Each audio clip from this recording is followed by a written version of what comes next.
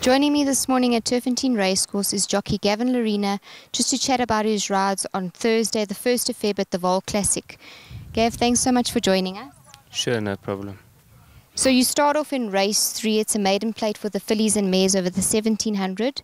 You ride for the Johan Janse van Vuuren stable. Uh, Happy Mo, drawn one. Yeah, she her first two runs were fantastic runs. Um, obviously over the sprint distance. Uh, we always thought she wants a bit further, uh, but she has been rested. You know, we're going 1700 now, so it's you know fitness might play a part in it. But she's a very nice filly. Uh, we've always thought a bit of her. Uh, just hoping to get a soft ride around the track and you know and let her finish her race off nice and strong.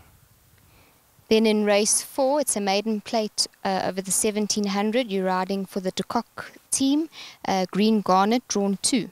Yeah, it's his second run after Gelding. Um, I thought his last run was a very good run. Uh, we didn't have a great draw, and Mr. De Kock just wanted me to get the horse to settle.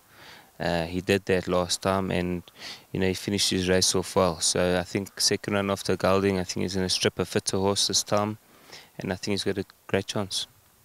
Then in race six, it's a MR75 handicap over the 1450.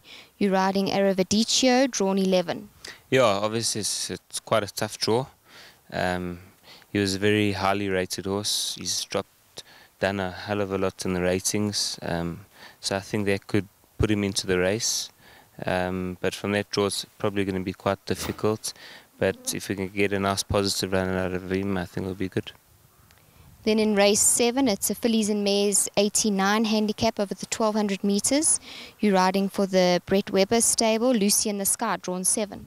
Yeah, yeah, she's a, a filly very close, or mare very close to my heart. Um, I've always seemed to, to get the best out of her. Uh, it's also a tricky draw over that 1200, but um, she loves the course and distance, and um, you know I think she's I think she's got a good chance.